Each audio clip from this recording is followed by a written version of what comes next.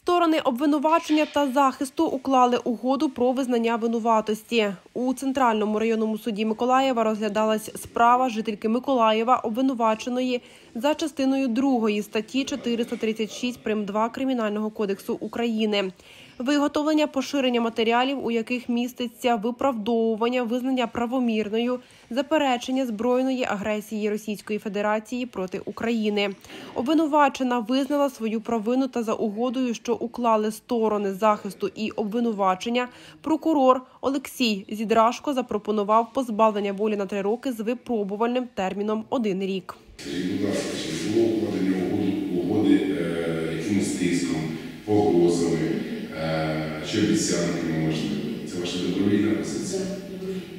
Суддя Сергій Медюк ухвалив вирок, що врахував угоду. Якщо протягом року обвинувачена не вчинить правопорушень, суд має звільнити її від покарання у вигляді позбавлення волі на три роки.